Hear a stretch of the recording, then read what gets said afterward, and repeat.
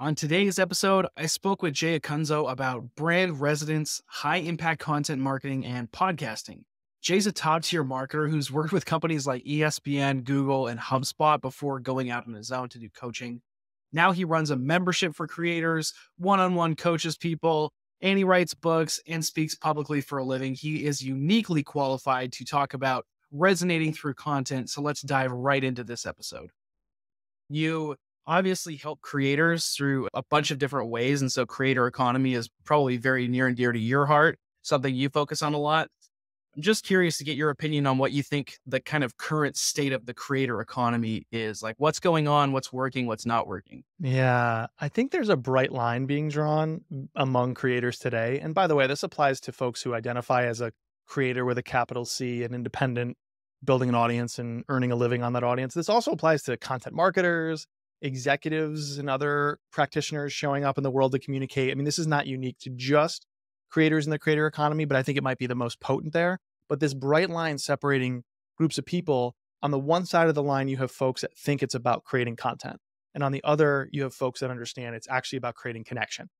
And so the folks that are really excited about phrases like generate content or you know 10x the content at 10x the speed the folks that are using generative ai tools not to unblock their imagination but to outsource it they think it's all about content and by the way i don't there are a lot of charlatans in that camp but most people are not that most people have good intentions they're trying to do a hard thing and i think it's because we were influenced for many years both in school and in our early careers to think about content there's a great director of the writing program over at the University of Chicago. He just retired, Larry McEnerney, who talks about this. Like you're an expert.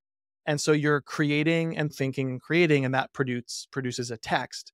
And your first audience was not using the text in a natural audience like way because your first audience were your teachers, like literally paid to care about you. And they're using the text not like an audience uses it to change how they think about the world or execute.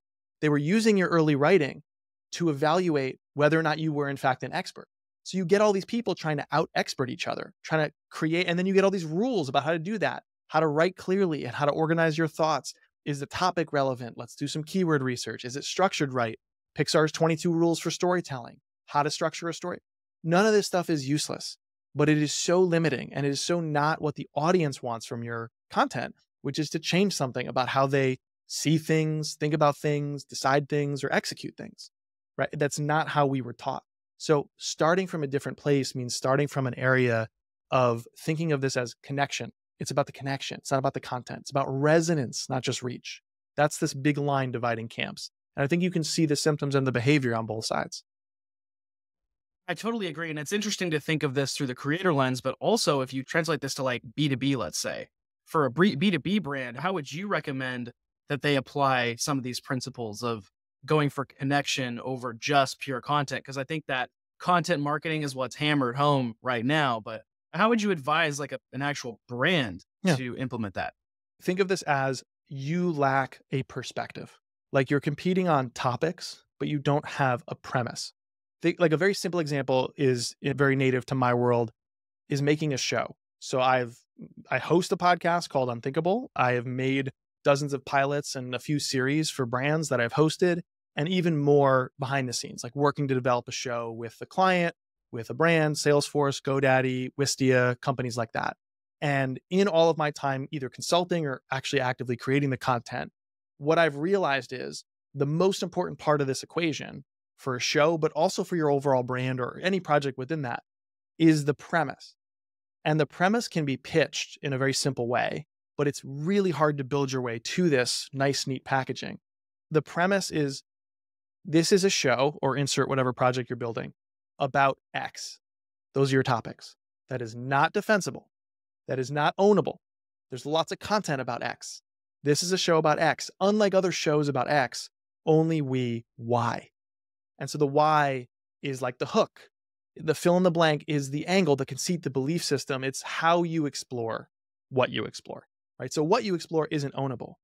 And so the way you look at a premise, the def- definition of the premise for a show, a project of any kind, or a whole platform is it's the specific defensible purpose for that project pulled from your personal, or in this case, organizational perspective for your audience. right? So is it specific or generic? A lot of B2B content fails because it's too generic. Is it defensible? Can you own that idea? Because you might niche down and say, we're the first ever podcast about this. But as soon as there's a second one, yeah, you were specific, you might still be, but there's others. Like it's not defensible. That's a moat the size of my finger. It's specific, it's defensible, and it's pulled from your personal or organizational perspective on something, right? Like where we stand as a group, as a community, as an industry is broken. We think we should go that way. And the show, this content, this brand exists to help you move from the status quo to something better. We have a vision for what we're changing for our audience. And that is super potent in B2B because B2B, you speak about their careers, you speak about their businesses, right? That's powerful stuff. There should be a transformation you're pushing, not just a bunch of topics you explore. So the sum up to all this ranting, Blake, is we need to stop trying to out expert everybody. Like generalized expertise is totally commodified. What you need to do is imbue that expertise with some kind of personal perspective. And the way others access that perspective is through the premise of a show, of a newsletter, of a video series, of a whole brand. That's what we need in B2B. We need to get better at premise development. I like the concept of make, making a show, and it almost naturally kind of gears toward making a video just because, like, a show, TV show, whatever. But making that clarification you did that it could also be a newsletter or wh- wherever you're telling your story. And you've done this through many different mediums, but I want to talk about podcasts. So for Unthinkable, how did you apply these principles to building Unthinkable from yep. from the very start? Like what did that process look like for you differentiating and making it resonate? I think premise development and idea development in general, when you can feel your own frustration with something, that's a great place to start. That's like lighting a match for your creativity. And the object is not to hold the match. That's what most people do on like Twitter is they just light their frustration on fire and hold it and it burns you and it burns others. That's unproductive frustration. But you can turn your frustration with an industry into curiosity. So you go from a match to like lighting some kindling, you know, you start to have a little bit of a fire going here. And you're like, all right, with Unthinkable, 2016, I'm super frustrated with content marketing because having done it for brands as big as HubSpot, where I was their head of content, to tiny little startups and a community group I ran back then for content marketers, I'd seen it all the different ways. And the commonality I saw was this disrespect for the craft and lack of care for craft. It was all about marketing content and the content wasn't very good, right? I was frustrated. I lit my match. And then I lit some kindling. Why? Why is all content marketing in a given niche the same? Why is it awful? Why are we not learning from the best in writing and podcasting and video away from marketing? What's going on here? Well, the best practices to do it this way. Why are we obsessed with best practices? It means average. It's all it is, average practice, right? Like why? And oh, oh, by the way, the best time to tweet now that's available, that's not the best time to tweet anymore. Like what are we doing? We're just blending in and creating more sameness. It's never been easier to be average. And I said this in 2016, and arguably that's only gotten worse. You can be mediocre at scale. Congratulations. It's Chat GPT. So, why are we doing this and who's doing it differently? All these questions emerge when you move from frustration that you have to curiosity, like lighting kindling with that frustration. And then as you give that oxygen, literally aerate your ideas by publishing publicly. For me, it was on a podcast as you aerate those ideas and you it's like blowing on the fire you oxygenate it you have this roaring fire and that represents this either distant light that people see and come running your way or this fire that, that warms a community around you.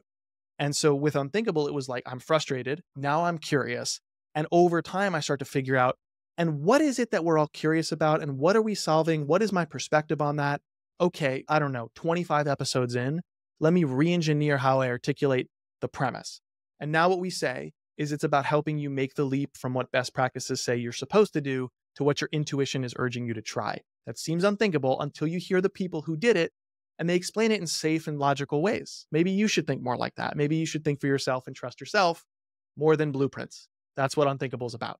It took a while to build there, right? But you can make it process oriented or system oriented. What would be your response to somebody that looks at your approach and how you've just described this and says, yeah, but I can't go viral that way. Yeah, sure. To what end? Why are you going viral? Like if you why like the I have a toddler, so her sitting in the back of the car asking why, I try my damnedest not to get frustrated, to actually encourage that because I know it's a healthy behavior and a useful one in life, like for your job, for school, for everything. And so I'm trying to foster that, not get frustrated and be like, because I said so. But she's asking all the right questions in that she's asking one question. Why? So you want to go viral. Why? So we get a bunch of followers. Why? So we get a bunch of attention. Why? You just keep going why. And eventually you get down to the fact that marketing is just about two things it's earning trust and inspiring action. That's it. That's all this is. And when people want to go viral, I think what actually is happening is they're asking people to take an action and it's not working out. And so they think, well, if a million people were aware of us, that would solve our problems. But awareness is just a proxy for what you actually want, which is affinity. Like your reach doesn't matter if you don't resonate. You know, from resonance comes action. It's literally like in the sciences, think about vibrating frequencies that have a similar frequency or wavelength. Those are resonant frequencies. It's about alignment. And then what happens in the sciences is those two systems experience an energy transfer. So back in the creative world, if what you're saying and the way you're saying it and the premise of how you're saying it, and all that stuff aligns deeply with someone else's lived experience, all of a sudden their thoughts, their feelings, even their abilities feel amplified, like you have amplified. And they go, oh my gosh, this. And they pick you and stick with you and share you against the odds.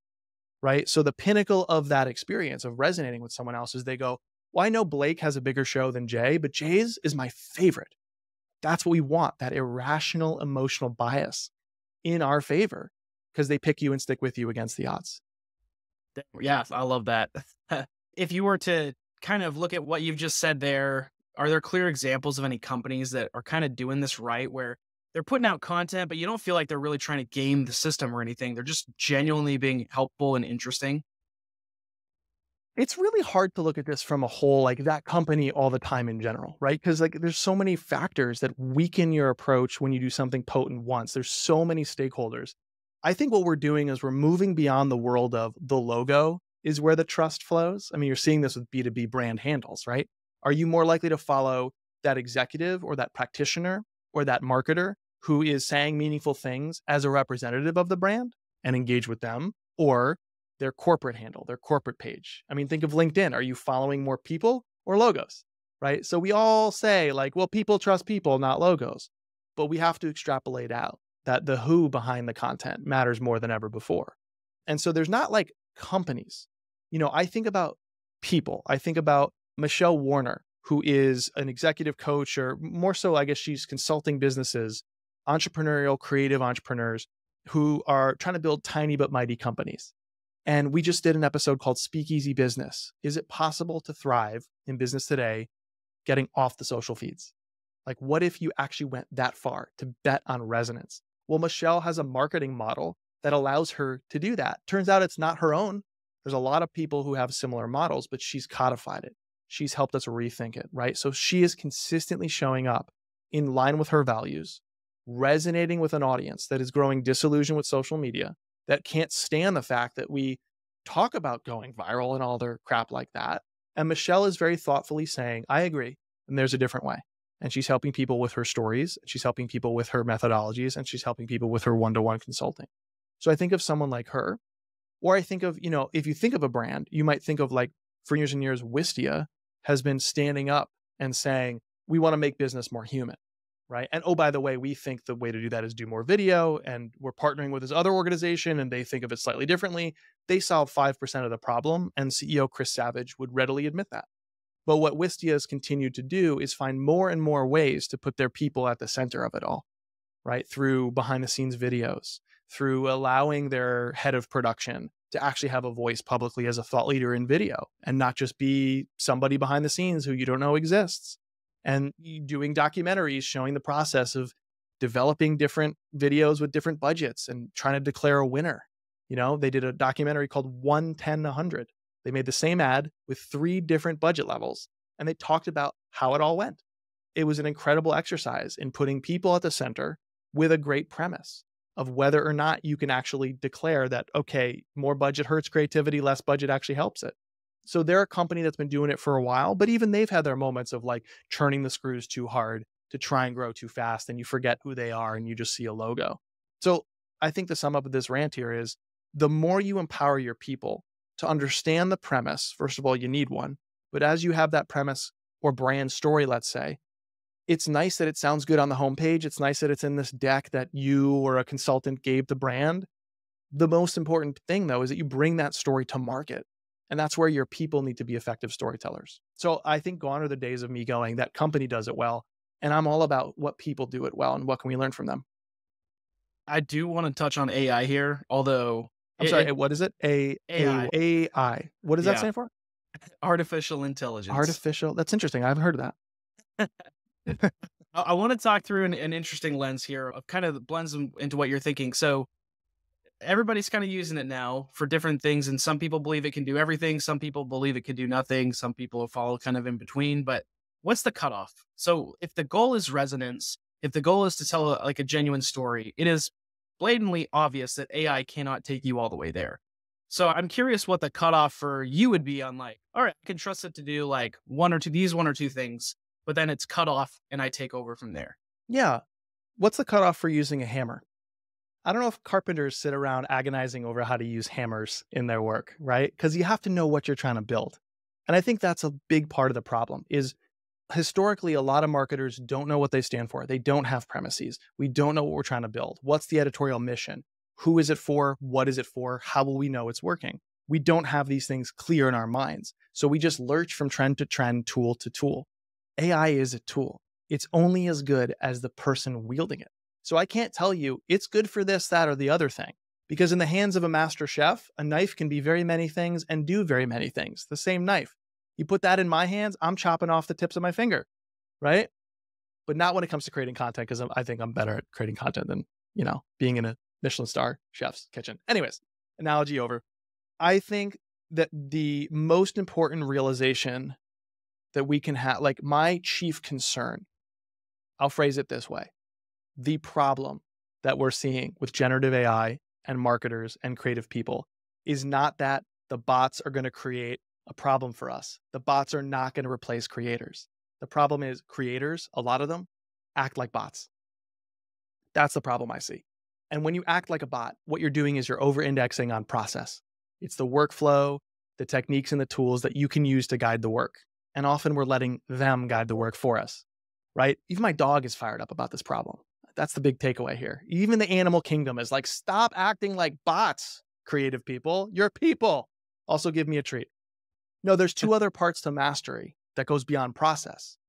Process can be handed to you, process can come from a tool or something else. Posture. How do you see yourself in the world? What's your creative fingerprints? Can you get it all over the work? And practice. Are you actually showing up on a recurring basis to get better? Like having a writing practice doesn't mean you're going viral and seeing revenue. Having a writing practice means you're practicing. You're showing up and shipping and getting better all the time. And that allows you to explore all the messy bits that make your work uniquely you. So if you can imbue your work with the things that make it uniquely yours and not just anyone else's, then AI is your intern. Have at it, my friend. Wrestle with your ideas with it, create messy outlines, ask questions to see what the moderate or median thing that here's the English major trying to wade into statistics.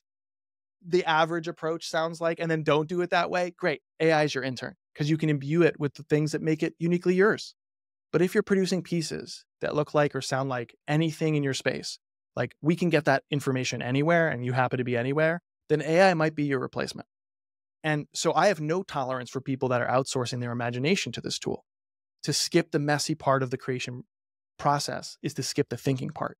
What we ought to be doing is finding where specifically we feel blocked. And then if we need a tool, it's there, right? And there are myriad tools, of which AI is just one. So can we please, for the love of God, stop obsessing over a tool? I am much less interested in what a tool can do than what Blake can do. Love it. Two two final questions, kind of more rapid fire, and then we'll close things out here. Appreciate your time as always. On the freelance side, so you're not necessarily freelance right now, but you've been on your own for a while. You've been doing Yes. coaching, you've been doing speaking, you've done all these different things. You've been on your own, developing relationships, going that route. If you're just looking at that as like freelancing in general, just being away from an in-house role, why do you think more talented people are kind of going toward that route now as opposed to in-house? I think, and this is if I could give any talk to like college students and high school students, it might be about this premise. But in your career, I think control and certainty are inversely proportional to each other. Where the more control you have, the less certainty, and the more certainty you have, the less control. So, on the extremes, if you want total control, start a brand new company today. And then as you grow, you start to trade off some of your control for certainty, like repeatable systems or contractors or a co-founder, et cetera. And on the other end of the spectrum, you have what's total certainty. And historically, I think that was like go work for a high flying, fancy sounding brand.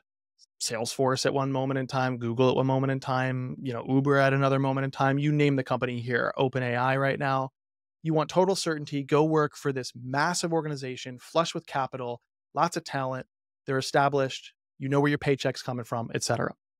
And I think what's happening right now is the world is waking up to the fact that largely the promise of total certainty from large organizations was a lie, where the people who are most protected are actually the people who understand how to control their schedule, how to control their day, how to control where the paycheck comes from, how to control how they show up in the world as irreplaceable talents, not cogs in a machine, which, by the way, here comes a tool and you're out.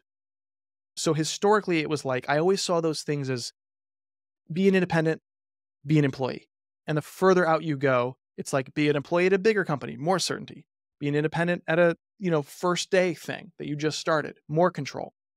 And I think what we're seeing is there was an illusion sold to us that you are safe here, that you are valued here, that you're part of the quote unquote family here at large organizations, and especially in tech. That has proven to be, you know, it's demonstrably false. Last one here. This one's a softball, so sh- shouldn't be a problem for you at all. Okay. I just want to hear your tech stack because you've got this interesting business helping creators. Yeah. Just want to know what you're using to actually set up the infrastructure to give an idea of how much it takes or how little it takes to do what you do. For sure. I run all of my so my newsletter is on ConvertKit, my podcast is backend is Simplecast, front end to record is Riverside. Social media I use no tools besides the native apps. I don't do any sort of paid promotion of my work. Honestly, the two most important apps that I have at my disposal, one is called Go for a Walk. Do you know this one, Blake? Go for Okay, so Go no. for a Walk is when you need ideas or you need a reframing or you need a brainstorm session and you go for a walk that's one of the tools i most use is not technology it's literally using your legs to go for a walk that's one tool i use and will die on all the time and then the other is called i believe the french call it the notebook or italian i think it's no, no, in italian it's a notebook i'm italian so i can do that horrible accent. So i have my notebooks right here. God i can't believe i'm doing that to my ancestors. I have a little notebook, which is all my to dos, documentation of like what's happening in my day. Then I have these giant notebooks I'm literally throwing up in front of the camera here, massive notebooks where I diagram heuristics and new projects and all that stuff. If I couldn't go for a walk and couldn't write in a notebook, my entire business would collapse because I am nothing if not my ideas. I mean, that's what people are buying from me is my stories and my ideas. Those are my products and anything you use to access that stuff, my podcast, my newsletter, paid clients like coaching or my membership, those are features of my core product, which is my ideas, what's between my ears and how I articulate that stuff. So, yeah, I would say that we are over indexed on tools almost all the time and under indexed on exerting this mushy thing in between our temples.